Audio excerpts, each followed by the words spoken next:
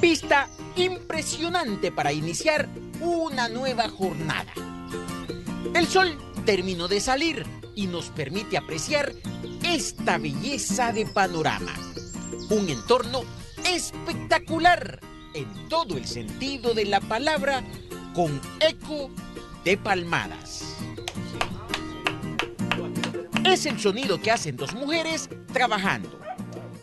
Preparan el tradicional desayuno de los salvadoreños. No son tortillas, son pupusas, pero mire el color.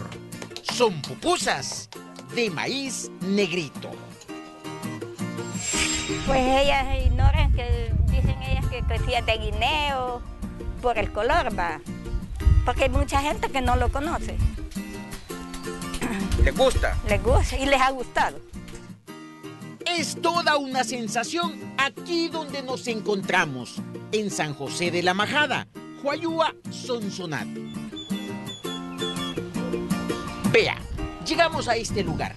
Es la granja de Don Álvaro, donde a diario se preparan pupusas de maíz negrito rellenas de queso, chicharrón o revueltas. Es el delirio de muchos. Lo digo así porque han quedado atrapados por el sabor de estas delicias, aún más porque se preparan en comal de barro, sobre fuego de leña. Pero si no quiere pupusas, ¿qué le parece el desayuno de la casa? Del platillo de la granja, una variedad de acompañamientos que lo hacen arrancar el día de la mejor manera. Una opción económica, preparada con la receta heredada de abuelitas. El desayuno le trae tres huevos, le trae tomatada, le trae eh, chorizo o longaniza a decisión suya. También le trae café o chocolate, leche, eh, refil de café a degustación de la persona, métodos. Tal como lo dijo Abigail, para estos desayunos es justo y necesario una bebida de calidad. Y si usted opta por café, tomará estrictamente de altura. Las bebidas de este lugar prácticamente son de lujo porque se utilizan granos recolectados en fincas certificadas. Por eso se procesan bajo diversos métodos. Estamos ofreciendo marsellesas, borbón, pacamaras, cafés especiales que van arriba de los 80 puntos, logrando un café de especialidad de taza.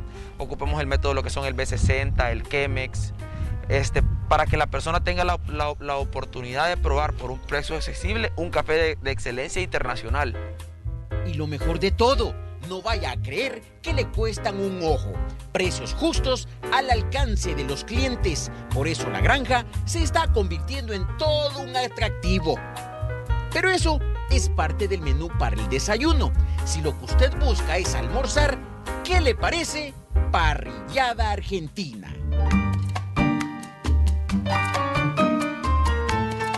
Y vaya que de verdad es argentina, porque el encargado de preparar los platillos es Eduardo Lagrota, un chef originario de dicha nación que vino a El Salvador para dar cátedra. Vine acá a demostrar y a brindar con los salvadoreños la cultura argentina de, las parrilladas, de cómo se elaboran, cómo se, prepara el fuego, antes de poner la carne en la parrilla, la temperatura, cocción, el sabor, la, paciencia y la dedicación para, para que salga la carne lo más rica posible.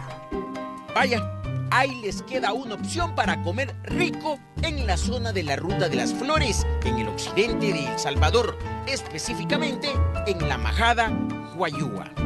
Platillos preparados como en casa, que se disfrutan al aire libre, donde la brisa de la cordillera Apaneca y la Matepec golpea de una manera agradable. Créame que visitar este lugar es una experiencia que le encantará. Con imágenes de Eric Alfaro, Julio Guevara, olores y sabores.